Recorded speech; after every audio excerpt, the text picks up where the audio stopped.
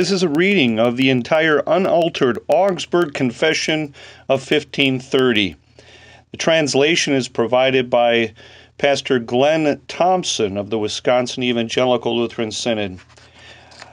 A little historical background to the Augsburg Confession. Martin Luther's study of the Bible in the years leading up to 1517 caused him to see God's grace clearly for the first time. He gradually came to see that sinners are saved by the grace of God as a result of Jesus Christ's perfect life and perfect death on the cross. When Luther learned this, he came to see more clearly the false teachings and practices of the Roman Catholic Church. False teaching about repentance and forgiveness of sins led Luther to write his 95 Theses. As time went on, he spoke about more and more boldly for reform.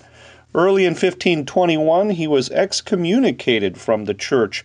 That same year, he lost his citizenship in the Holy Roman Empire because of his defense of biblical teaching. However, Luther's teachings continued to spread throughout Europe. Many attempts were made to reunite the church.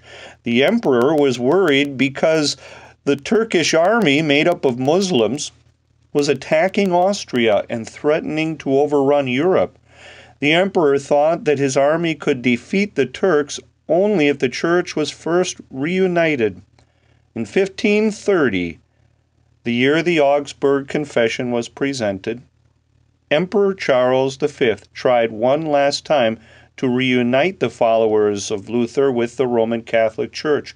He commanded the Lutherans to appear at a diet or council in the southern German town of Augsburg. Since Luther was still considered an outlaw, he was not able to go himself, but Philip Melanchthon, a close confidant of Luther and an assistant in the Reformation, took Luther's place as the chief Lutheran theologian.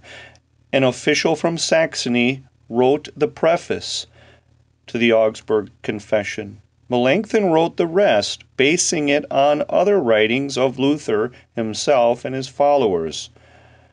The first 21 articles or chapters explain the faith and doctrine of Lutherans.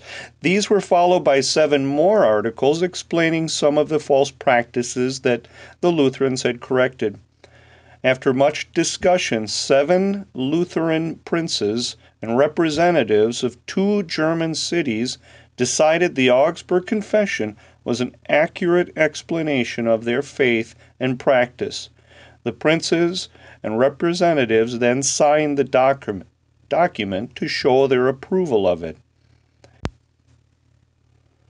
The preface to the Augsburg Confession All powerful Emperor, Caesar Augustus, most merciful Lord, your Royal Majesty has called a council of the Empire here at Augsburg to discuss what to do against the Turks that most fearful and long-time enemy of our Christian name and religion, you wish us to agree on a strong and lasting military action that can successfully defeat their furious attacks.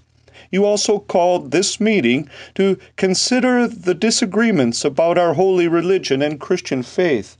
In these religious matters, you wish the opinions and judgments of the different sides to be heard in each other's presence. You wanted us to consider and discuss these matters among ourselves with both sides showing love and kindness. Then you wished us to settle these matters by removing and correcting those things that were described and understood in different ways in the writings of both sides. Only then will Christians again find agreement on a single simple truth. Christians could then also be able to accept and hold on to one pure and true religion in the future. Since we are all under one Christ and fight under Him, we should also be able to live in unity and in agreement in the one Christian church. We, the undersigned electors, princes, and other leaders who joined with us, have been called to this council just like the other electors, princes, and authorities. We have obeyed your royal command and promptly come to Augsburg. Although we don't want to boast, we were among the first to arrive. Among other things, which at the very beginning of the council your royal majesty proposed to the electors, princes, and other authorities of the empire here at Augsburg, was this that the various authorities of the empire, in response to your royal decree, should write down and submit their opinions and dis- decisions in both the German and Latin languages. So on the first Wednesday, after careful consideration, we told Your Royal Majesty that we would submit the statements of our side's confession on the following Wednesday. Now, in order to obey Your Royal Majesty's wishes in these religious matters, we here present the confession of our preachers and of ourselves. This shows what kind of doctrine from the Holy Scriptures and the pure Word of God has been preached up to this time in our lands, territories, and cities, and what is taught in our churches. The other electors, princes, and authorities of the empire may wish, according to the royal decree mentioned above, to present similar writings in Latin and German, giving their opinions about these religious matters. If so, then we, with the princes and friends listed above, are prepared for a friendly meeting with them here before your royal majesty, our most merciful Lord. We can then discuss all the possible ways and means through which we might be united as far as this may be done with honor. After this matter has been peaceably discussed between us on both sides without giving offense, may it be brought to an end with God's help, and may we all agree again to one true religion. For just as we are all under one Christ and fight under his command, we ought to confess the one Christ in agreement with your royal majesty's decree. Everything ought to be handled in agreement with the truth of God. With earnest prayers, we ask God to do this. Now we turn to the other electors, princes, and authorities on the opposing side. Your Royal Majesty has ordered each side to present its case in writing and then to calmly discuss it with each other. But if this produces no progress, or if we reach no solution after handling the matter this way, at least we will show you clearly that we are making every effort to bring about Christian harmony, and we will do so as far as God and a good conscience allow us. Your Royal Majesty and the other electors and authorities of the empire, and everyone who has a sincere love and zeal for religion, and who will listen honestly to this matter, will graciously notice and understand our good faith efforts from this confession and of our associates. Your Royal Majesty, not just once, but often, you graciously informed the electors, princes, and authorities of the empire that in dealing with this religious matter you were not willing to and would not decide anything on your own.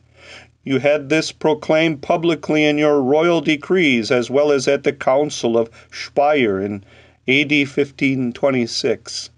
Instead, you used your office to encourage the Roman Pope to call a general council the same thing was announced publicly in greater detail a year ago at the last council at Speyer.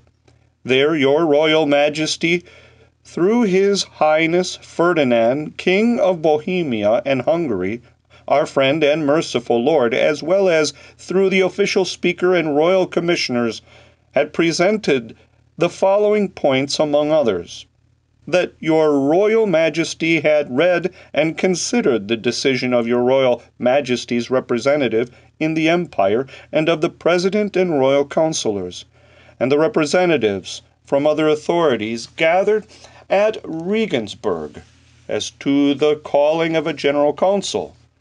That your Royal Majesty also thought it proper to call a council, and that your Royal Majesty thought the Roman Pope could be persuaded to hold a general council, because the other matters that needed settling between your Royal Majesty and the Roman Pope were nearing agreement and Christian reconciliation. Therefore, Your Royal Majesty promised that you would yourself try to obtain the Pope's consent for calling a general council, and that your Royal Majesty would send out letters to announce it as soon as possible.